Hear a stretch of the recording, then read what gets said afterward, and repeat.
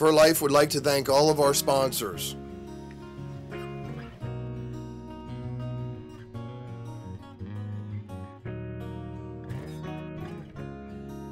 Mountain View Guide Service,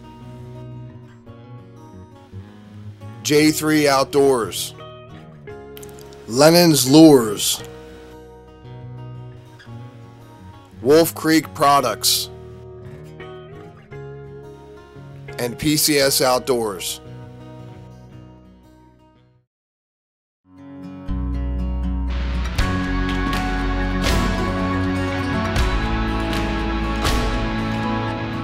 The Hague Spring Clip by J3 Outdoors. Simple, fast, efficient.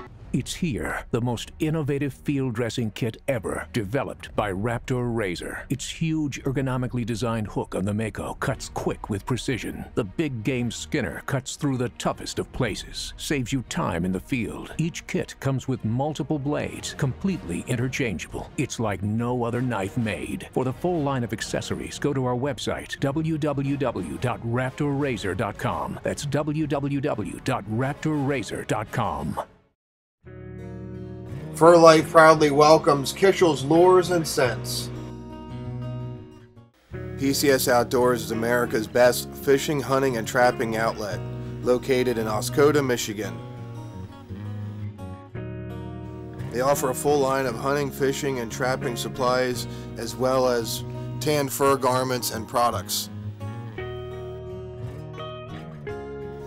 PCS Outdoors carries an impressive line of hunting and trapping lures and scents, including Lennon's Lures.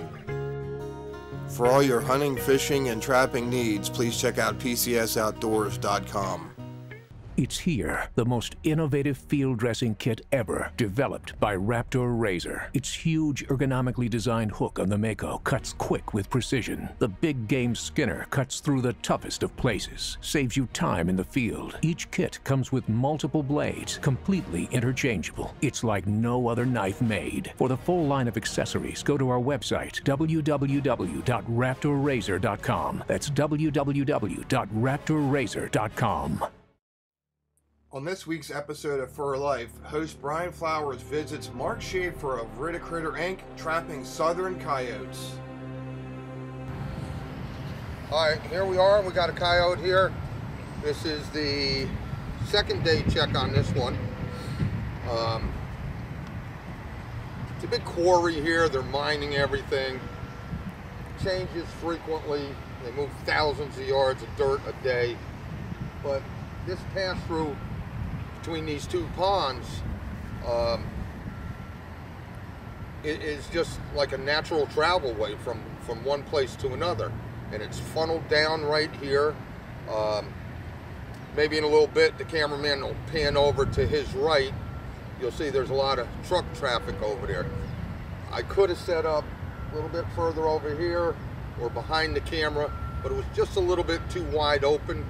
Uh, just want to be low profile uh, everybody doesn't know, have to know exactly what we're doing.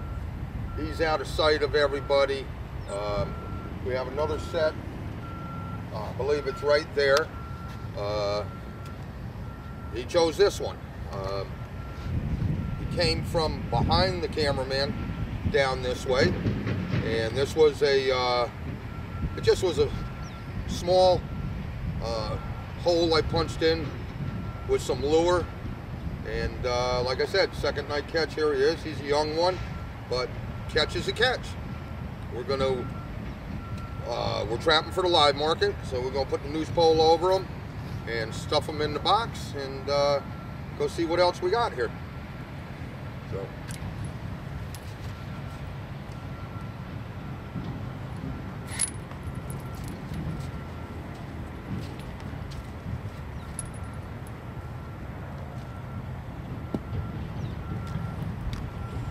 That's a nice catch, huh? Nice pad. Yeah.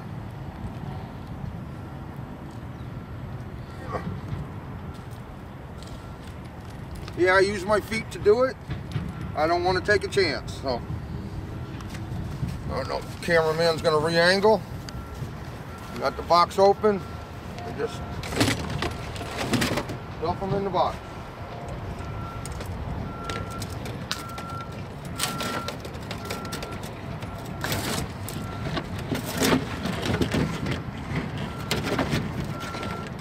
He got the noose all the way down on his hips. So, you're gonna have to fight him a little bit.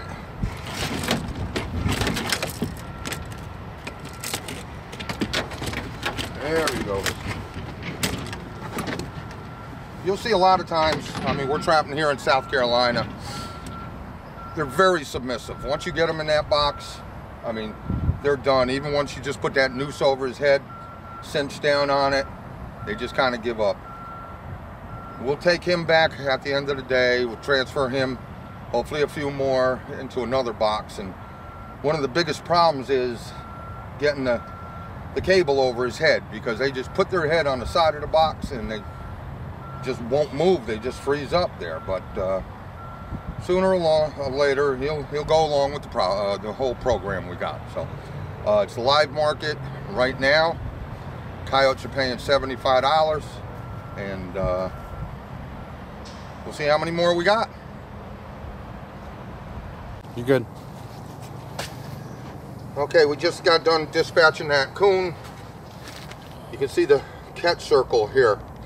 Uh, I'm going to put another set in right here, right on the outside of that catch circle. So.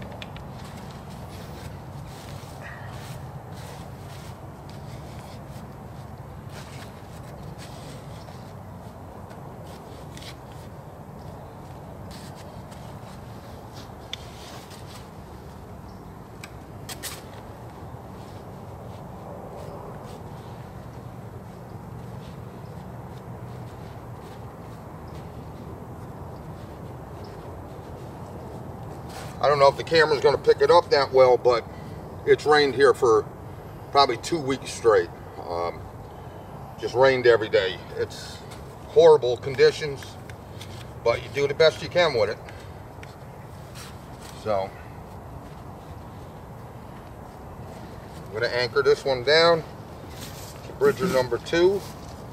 So now pretty much you're doing that one outside the catch circle Yeah, the catch circle's right here. because a lot of times the coyotes will refuse to go in there.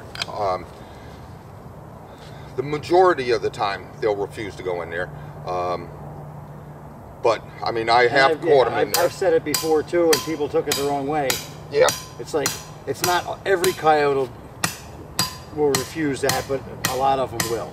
yeah. It's just you're playing an odds game. You know, if you got one that goes in there out of ten that are on the other side, um, That's nine you missed. yeah.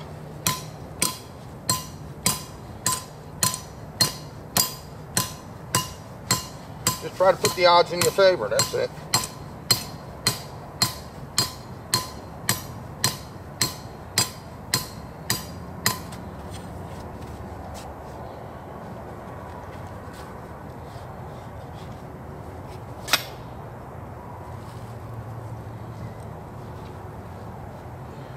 Yeah, a little bit bigger. I just want a small trap bed, just to fit the trap.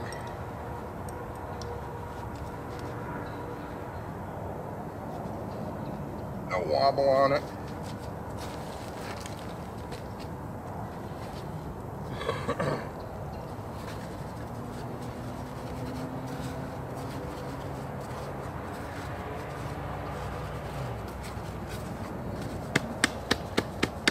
Some mud over it, because that's about all we got.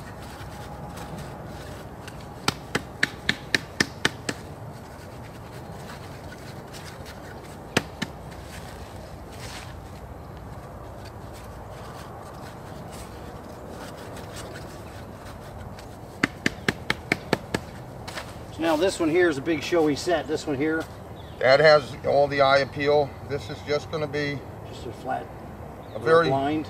Yeah, subtle. Um, pack this in good. Do the best you can with it.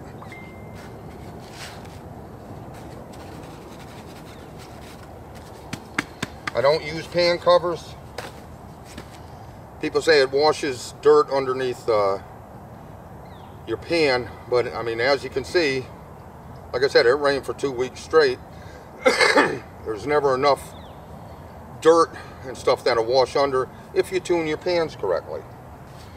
So here, I'll just try to blend this in a little bit. Nothing too fancy. Pine straw you got to watch and no, big long needles, but I'm not going to use any of that material in the catch circle for here. So just going to do this. And what I'll do is I'll hit it with a little dab of gland lure right on this little stick here. And he'll come down here, you know, he's going to see that, he's going to smell this.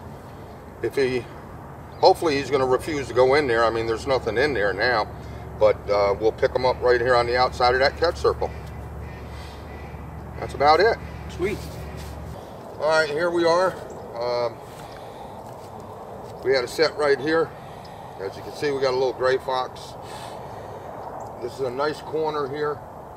Plus there's a game trail cutting through next to a little beaver pond to the next uh, stand of pines and things like that. Um, the history of this place, I mean, we catch a gray fox at this location just about every year. Um, this is the fifth day check on him. Um, I don't know where he's been for five days. Gray fox are little home bodies. They have a small home uh, range, but we've had a lot of rain too. Um, a lot of rain. So make your sets the best you can. Um, our sets actually held up pretty good with all the rain that we had. Um, we had to touch up a few. Um, we do not use pan covers. I've never had a problem with enough dirt uh, washing underneath the pan where it, it don't fire. I mean, as you can see, this little guy's probably, what, six pounds? I set my pan tension one and a half to two pounds, and uh, we connect. So um, it's, it's a good area for bobcats, too, with these pines, and it, it's good hunting grounds. So uh, there's a housing development behind the camera. Oh, not not more than 200 yards. Um, they love traveling these edges. As you can see, it's really the outside edge with the game trail going in through here. So you got to be patient. I mean, people that expect setting a trap, going out the next day and making catches, it does happen, but be patient. We have not re-lured this set in in five days. I mean, a good lure um, you're not going to need to, even with the rain that we had. I think probably in the five days we probably had maybe an inch and a half of rain, maybe a little bit more, but a good lure will work and, and produce for you. So there it is.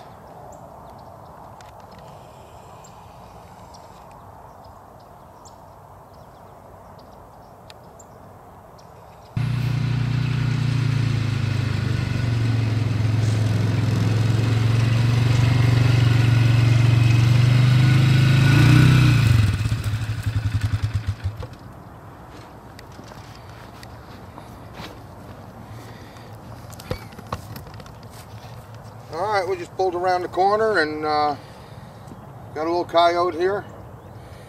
Uh, this set is about four days. No, this is a five day check here. Um, outside corner again, uh, right where the camera is. There's another set there. we just came down the lane here. We have another set up there about 200 yards. Um, we did uh, we did have uh, a visitor last night. We didn't catch him.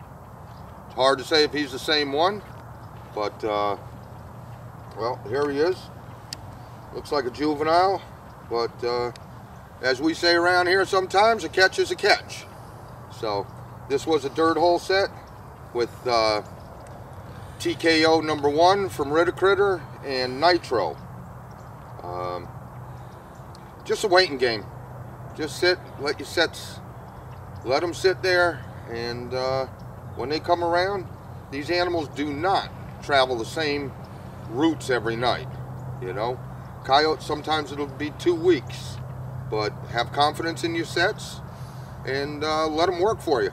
So we're gonna uh, put him in the box and we got plenty more sets to uh, to check today so hopefully he's the first of many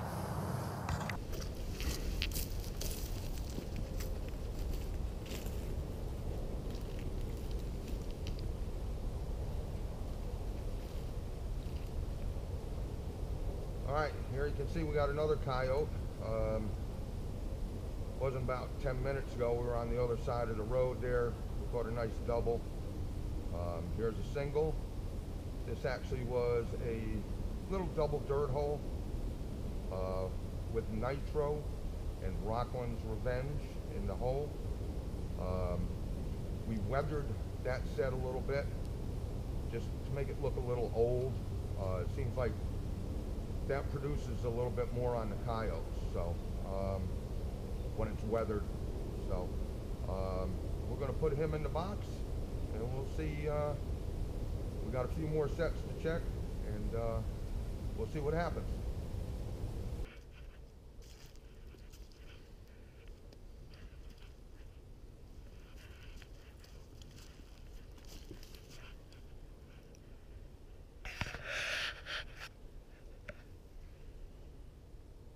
Right, as you can see, uh, we got a coyote here.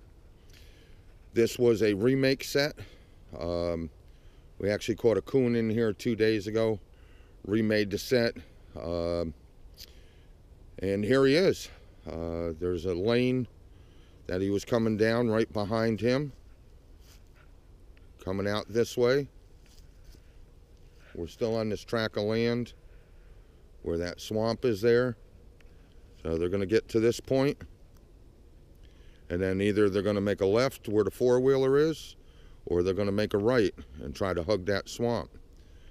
We do have another set um, about 20 feet in this way, but uh, he chose to come in this way. So here he is.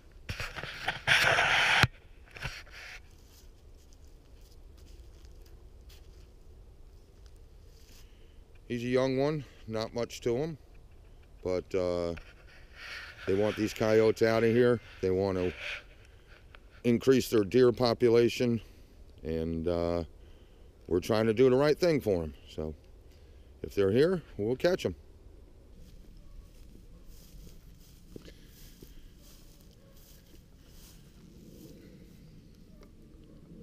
All right, here as you can see, we got a double on reds we set this up yesterday. Um, it was first night check. We, uh, the one on the right was a flat set with TKO number one and Rockland's Revenge. This little fella right here, uh, he was uh, on a dirt hole. It actually was a double dirt hole. It had last chance and nitro in the hole. Um, as you can see, the lane here um, comes down. There's a road there behind that silo, and then another uh, woodlot back there. So um, I'll just pan around.